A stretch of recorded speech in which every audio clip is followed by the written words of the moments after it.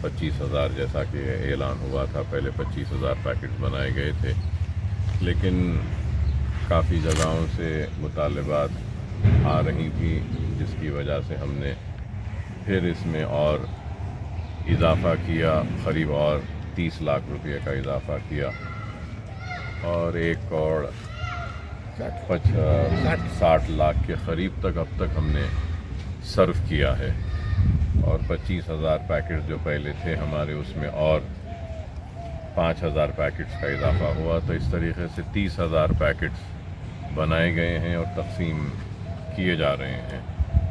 اور آج بھی ہم صدر محترم کی ہدایت پر بیرسٹر اسدالدین اویسی صاحب اور رکن پارلیمنٹ کی ہدایت پر آج حلقہ اسمبلی یافت پورے میں سالار ملت ایجوکیشن ٹرسٹ کی جانب سے اور مجلس اتحاد المسلمین کی جانب سے ہم مسلسل یہ کوشش کر رہے ہیں کہ ضرورت مند بھوکے لوگوں تک اناج کو پہنچایا جائے اور اس سلسلے میں کافی دن سے ہم کام کر رہے ہیں، ہماری ٹیم پوری کام کر رہی ہے اور ہم نے اب تک حلقہ اسمبلی چندرائن گٹے میں قریب سولہ ہزار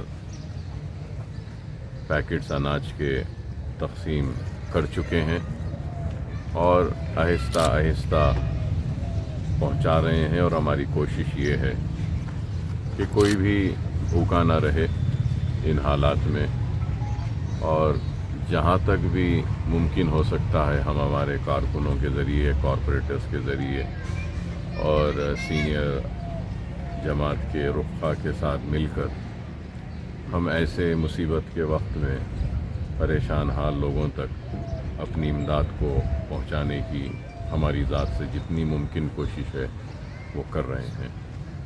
اور میں یہ بھی ضرور کہنا چاہوں گا کہ ہم نے ایک شریف لوگ ہیں جو مانگ نہیں سکتے، کسی کے سامنے رجوع نہیں ہو سکتے، اپنی عزت کے خاطر اپنی بھوک اور اپنی تڑپ کو بیان نہیں کر سکتے۔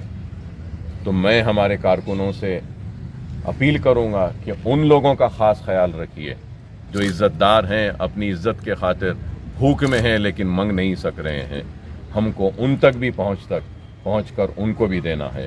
بہت سے لوگ ہوں گے جن کا ذاتی گھر ہے، لیکن اس کا مطلب یہ نہیں ہے کہ ان کے پاس اناج ہے۔ ذاتی گھر رہنے کے باوجود بھی وہ محتاج ہیں، بھوکے ہیں۔ ہم تک اگر ان کی آواز پہنچے گی تو ہم ضرور کوشش کریں گے ان تک بھی اناج کو پہنچانے کے لیے۔ بہرحال یہ ایک ہمارے آخرت کا سودا ہے۔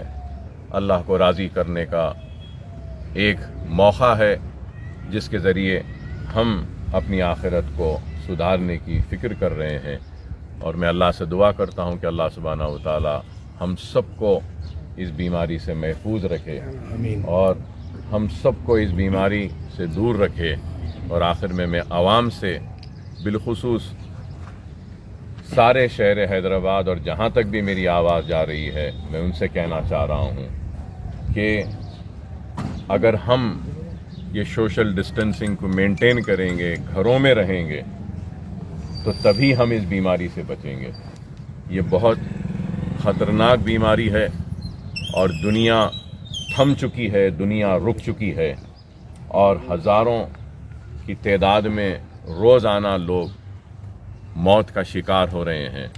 تو ایسے دور میں ہم کو بھی اپنی ذمہ داریوں کو محسوس کرنا ہوگا اور اپنے آپ کو اپنے گھروں میں محدود رکھنا ہوگا۔ ہو سکتا ہے کہ میں یہ سوچوں کہ مجھے ڈر نہیں ہے موت کا، لیکن یہ سوال میری اپنی زندگی کا نہیں ہے۔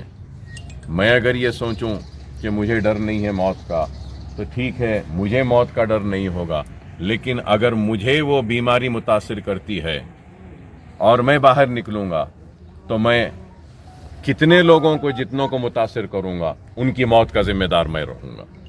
تو اس لیے ہم کو اس ذمہ داری کو سمجھتے ہوئے اپنے آپ کو محفوظ رکھنا ہوگا، اپنے افراد خاندان کو محفوظ رکھنا ہوگا اور گھروں میں رہنا ہوگا۔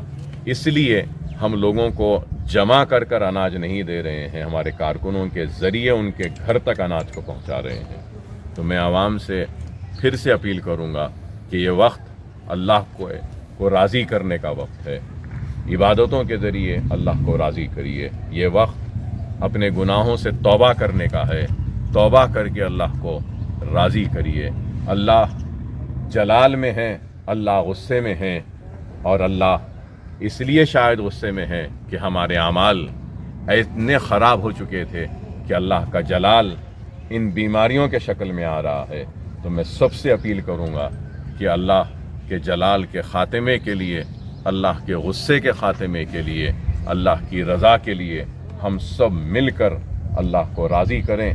اللہ کے سامنے گڑ گڑا کر اپنے گناہوں سے توبہ کرتے ہوئے انسانیت پر جو آج یہ وائرس کے ذریعے جو متاثر ہو رہے ہیں، ان متاثرین کو بھی ہم دعا کریں کہ اللہ ان متاثرین کو جلد از جلد صحت یاب کریں۔ اور میں یہ بھی اپیل ضرور کروں گا کہ وہ جو ڈاکٹرز، وہ جو نرسنگ سٹاف، وہ دوسرے ہیلتھ کے شعبے سے تعلق رکھنے والے جو ساری دنیا میں اور ہمارے ملک ہندوستان میں بھی آگے بڑھ کر ان متاثرین کی علاج کے لیے جو کام کر رہے ہیں ہم سب کو ان کے اس خدمات کو بھی سمجھنا چاہیے اور اس بڑی قربانی کو ہم کو سمجھنا چاہیے کہ وہ جو ہیلتھ سیکٹر کے لوگ جو کام کر رہے ہیں، ان کے بھی گھر ہے، ان کے بھی بیوی بچے ہیں، لیکن وہ ان سب کو چھوڑ کر بیماروں کی علاج کے لیے آگے بڑھ کر کام کر رہے ہیں۔ ہم کو ان کے لیے بھی نہ صرف دعا کرنا چاہیے، بلکہ میں کہوں گا کہ تعاون بھی کرنا چاہیے۔ اور پھر عوام کو اپنے گھروں میں رکھنے کے لیے جو پولیس آج دن رات روڈ پر بیٹھی ہے اور کوشش کر رہی ہے، لوگ کو سمجھا رہی ہے کہ گھروں میں رہیے یہ بیماری ہے، تو میں ان پولیس آفیسرز کا بھی شکریہ ادا کروں گا۔ وہ وہ سینیٹائز جو کر رہے ہیں، جو سینیٹیشن ڈپارٹمنٹ کے جو لوگ ہیں، جو صفائی کا عملہ جو صاف کر رہے ہیں، میں ان کا بھی شکریہ ادا کروں گا۔ گورنمنٹ کے سارے آفیسرز کا، سب جو کر رہے ہیں اور آخر میں میں یہ سمجھوں گا کہ میں یہ میں یہ بھی کہنا چاہوں گا کہ میرے ساتھ جو میرے ساتھی ہیں، جناب سمد بن عبداس صاحب فہاد بن عبداس صاحب، جناب سعید صاحب، وہاب صاحب اور نصیر غیاض صاحب، یہ پانچ لوگوں کی ٹیم جو میرے ساتھ ہے، مل کر ہم جو یہ اناج کی تقسیم کا، اناج کو پیک کرنے کا جو انتظام کر رہے ہیں، میں ان کا بھی شکریہ ادا کرتا ہوں اور اللہ سے دعا کرتا ہوں کہ اللہ آپ کو، ہم کو، سب کو اس بیماری سے محفوظ رکھے اور آپ کو، ہم سب کو اللہ ہدایت دے کہ ہماری ذات سے جو بھی ممکن ہے، ہم ایک دوسرے کی مدد کریں۔ کیونکہ یہ وقت ایک دوسرے کی مدد کرنے کا ہے اور ہم ایک دوسرے کی جتنا مدد کریں گے، تو وہ میں سمجھوں گا کہ ہم اس مدد کے ذریعے نہ صرف اپنی آخرت بلکہ اپنی زندگی کو بھی سدھار رہے ہیں۔ اللہ آپ کی، ہماری، سب کی جو بھی خدمات ہے اس کو قبول کرے اللہ میری بھی اس خدمات کو قبول کرے۔ سالار ملت ایجوکیشن ٹرسٹ کے زیر انتظام جو کام کر رہے ہیں اللہ اس کو بھی قبول کرے۔